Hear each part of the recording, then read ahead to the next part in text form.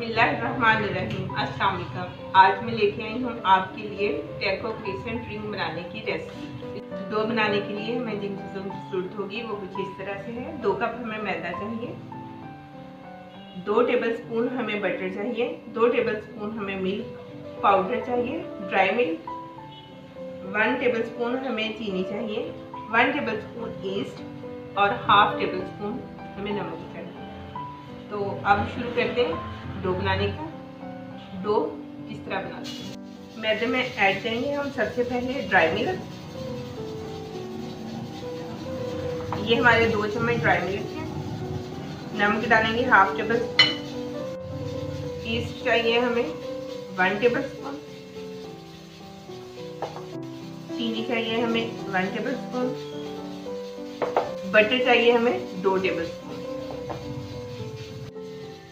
अब इन सब चीज़ों को हम मिक्स करेंगे।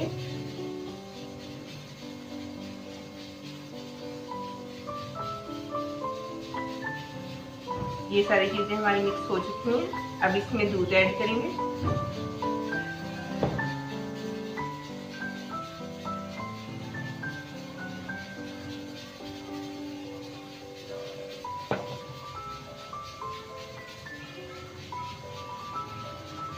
इसको हम अच्छे से मिक्स करेंगे और जितनी ज़रूरत होगी साथ साथ हम इसमें दूध ऐड कर लेंगे। ये देखें डो हमारा अच्छे से मिक्स हो गया। अब इसको कुछ देर हम भूनेंगे।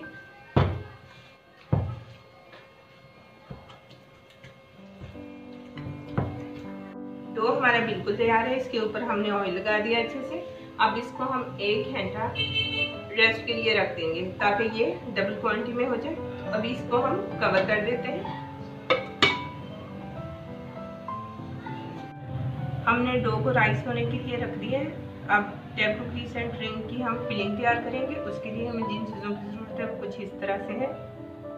ढाई सौ ग्राम चिकन कीमा चार चम्मच, हम केचप इस्तेमाल कर रहे हैं। दो दरमियाने साइज़ के प्याज जो मैंने इस तरह स्लाइस में काटे हुए वन टेबल स्पून नमक है वन टेबल स्पून अदरक लहसुन का पाउडर है, जो हाफ़ हाफ़ है, मैंने दोनों को मिक्स कर दिया।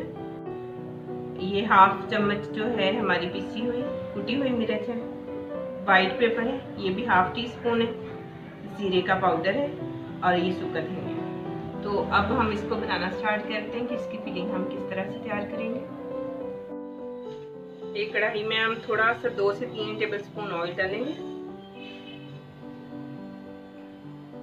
ऑयल में अब प्याज ऐड करेंगे?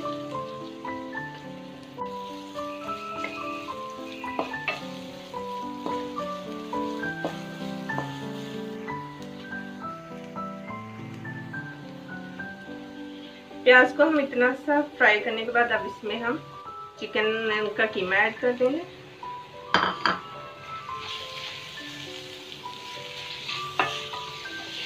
चिकन के कीमे को हम अच्छे से बताते हैं जितनी देर में इसका कलर नहीं चेंज हो जाता। ये देखें, हमारे चिकन का कलर बिल्कुल चेंज हो चुका है। अब हम इसमें अपने सारे मसाले जो हैं वो ऐड करेंगे। सबसे पहले हम कुटी हुई मिर्च डालेंगे इसमें। अब हम वाइट मिर्च डालेंगे। कुटा हुआ जीरा डालेंगे। सूखा धनिया डालेंगे, नमक डालेंगे,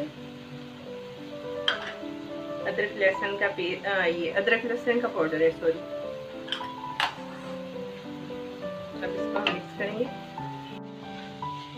अब हम इसको पाँच से सात मिनट के लिए कवर कर देंगे, ताकि चिकन ने जो हल्का फुल्का पानी छोड़ा है, ये उसी में अच्छे से गल जाए। पाँच से सात मिनट कवर करने के बाद मिलते हैं।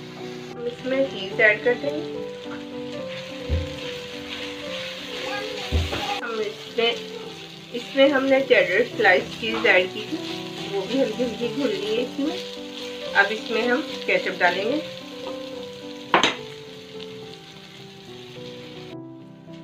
अब इसको अच्छे से मिक्स करेंगे।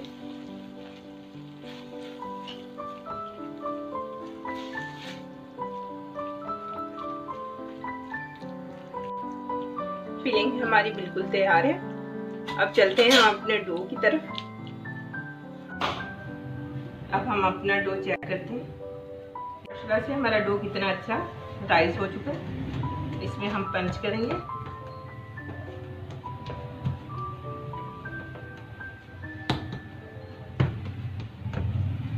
अब हम थोड़ा सा मैदा डस्ट करेंगे।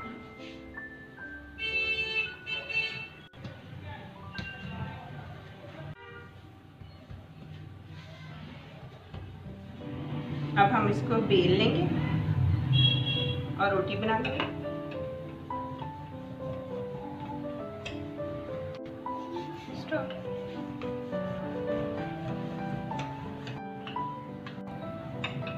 ये देखिए, हमने बड़ी सी रोटी बेल ली है।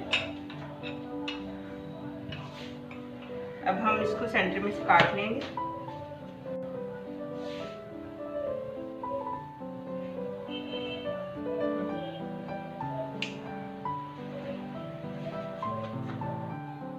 इसको इस तरफ़ से काट लेंगे।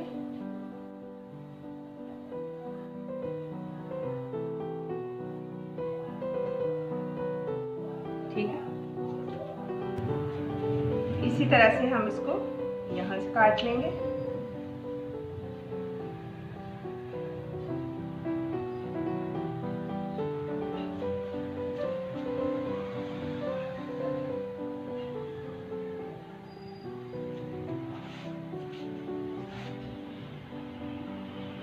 इस तरह से हम इसके पीस बना देंगे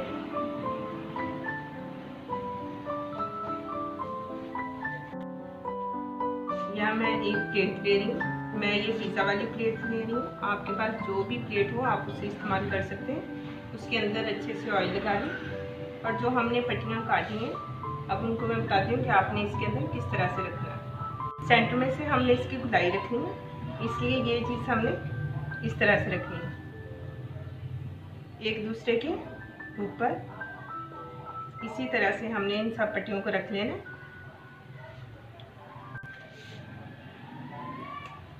इस तरह से हमने सारी पट्टियाँ इसके अंदर लगा देनी और जो फिलिंग हमने तैयार की, वो अब इसके अंदर हम लगा लेंगे।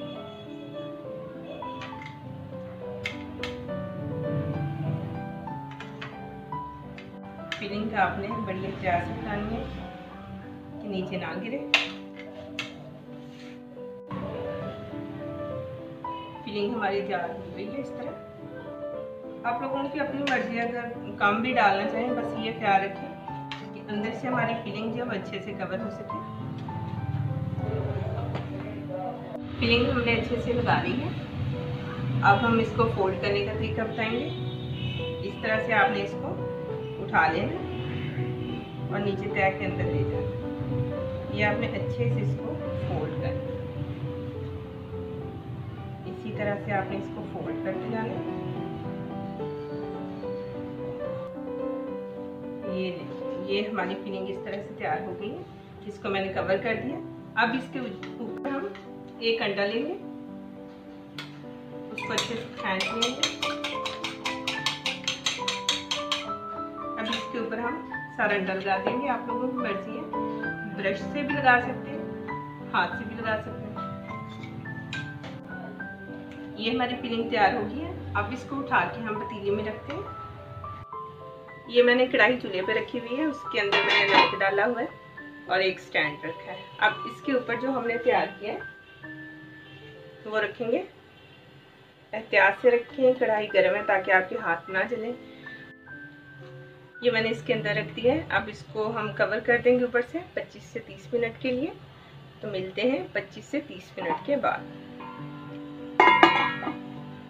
इसको रखे हुए तकरीबन हमें 30 से 35 मिनट हो गए। अब हम चेक करते हैं इसको।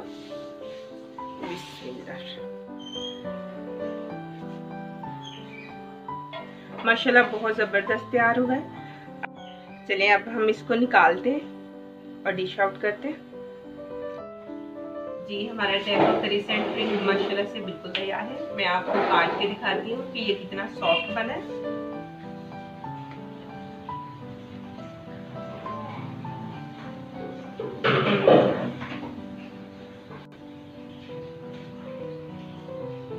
ये देखिए, माशाल्लाह। ये देखिए, माशाल्लाह, बहुत सॉफ्ट है। तोड़ के भी आपको दिखाते हैं।